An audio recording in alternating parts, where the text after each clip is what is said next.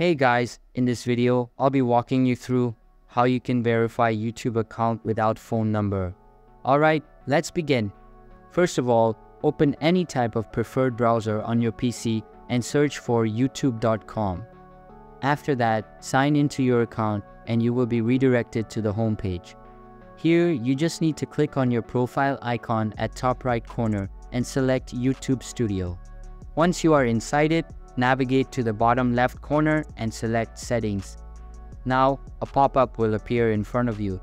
Inside it, access the Channel tab and then click on Feature Eligibility. You can see that the standard features are enabled on my account. But in order to enable intermediate features, I will need to verify my number. Note that there is no workaround of verifying your phone number, but there is a little trick that you can use.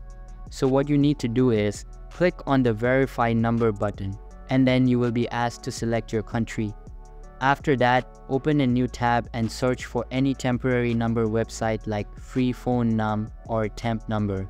Now you will need to try out numbers from different countries from both the websites and check if any one of them is working. You can see that this Netherlands number is working fine.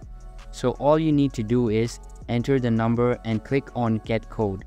Once you do that, you just need to open the temporary number website and wait for the code. After the code is received, then you can just paste it in and verify it. So that's basically how you can verify YouTube account without phone number. So that's all for this video. If you find it helpful, consider subscribing and giving this a big thumbs up and I'll catch you in the next one. Thanks.